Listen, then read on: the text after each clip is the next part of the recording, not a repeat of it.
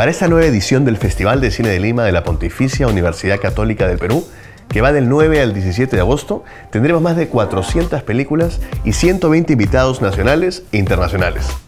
Con el lema Escápate al festival, hacemos un llamado, una invitación al público a dejar la monotonía, el día a día y acercarse a las salas de cine y a ver grandes historias y conmoverse con ellas.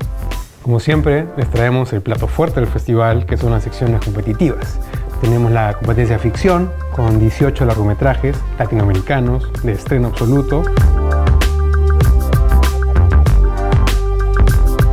Tenemos eh, la competencia documental, que son 11 documentales, también latinoamericanos, puede ser de temática latinoamericana, hecha por latinoamericanos en competencia. Tenemos la sección Irresistibles, que el año pasado funcionó muy bien y este año espero que también nos acompañen. Irresistibles es una sección con películas para todos los gustos, para que vengas acompañado de la familia, del flaco, la flaca, para que vengas y disfrutes. Son películas que te van a emocionar. Eh, hay ficción y documental para todos los gustos. Y tenemos Hecho en el Perú. Es una sección dedicada al cine peruano de estreno que ya se ha consolidado en los últimos años. Esta vez tenemos siete largometrajes entre ficción y documental. También tendremos la sección Galas, dedicada a películas de grandes realizadores o con personajes de trayectoria mundial. Búsquedas, por segundo año, nos trae una selección de películas un poco menos convencionales, que este año además estarán de manera exclusiva en la sala del Galpón Transcinema, una sala nueva que se une a nuestro circuito en Pueblo Libre. Y además, la muestra itinerante, con más de 200 películas, en 82 sedes y 14 regiones del Perú.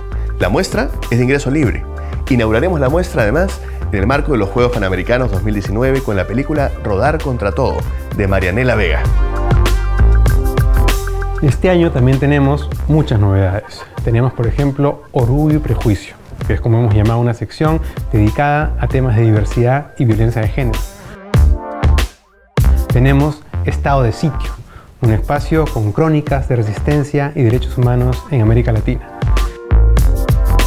Tenemos de música ligera, una sección que agrupa eh, siete documentales dedicados a innovación y tradición en la música iberoamericana. Y por último, junto a Ligna, hemos creado una sección para traerles lo mejor y más nuevo del cine independiente norteamericano, con películas que han sido nominadas al Oscar y que se han estrenado en los mejores festivales del mundo. La sección Tierra en Trance nos trae este año una retrospectiva de cine peruano de horror producido en regiones.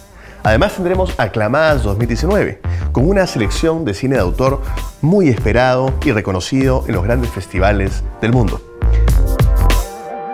La Vuelta al Mundo en 8 días también hace un recorrido por la cartelera internacional, poniendo énfasis en las películas que se van a estrenar en la cartelera en nuestro país.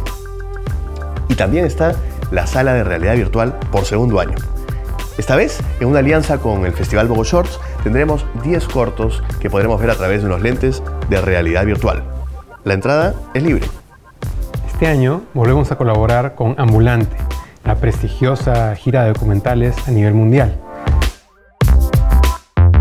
En las retrospectivas tenemos Francia en Lima, que viene con el apoyo de la Embajada de Francia y el Instituto Francés, haciendo una retrospectiva de Henri Georges Clouseau, el clásico director francés de los años 40 y 50 que guía con eh, películas de inversiones restauradas.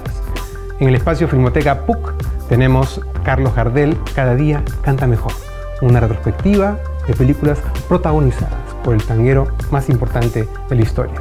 Y también en el espacio Filmoteca PUC, 50 años no son nada, nuestro espacio dedicado a clásicos contemporáneos, películas que cumplen 50 años de aniversario para que veas en función de trasnoche durante el festival.